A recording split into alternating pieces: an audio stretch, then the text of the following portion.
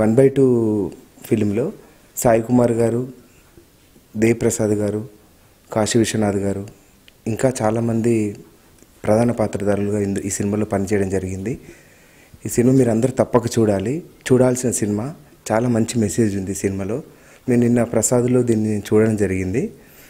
మీరందరూ చూస్తారని ఆశిస్తూ మా టీం అందరూ ఆల్ ది బెస్ట్ చెప్తున్నాను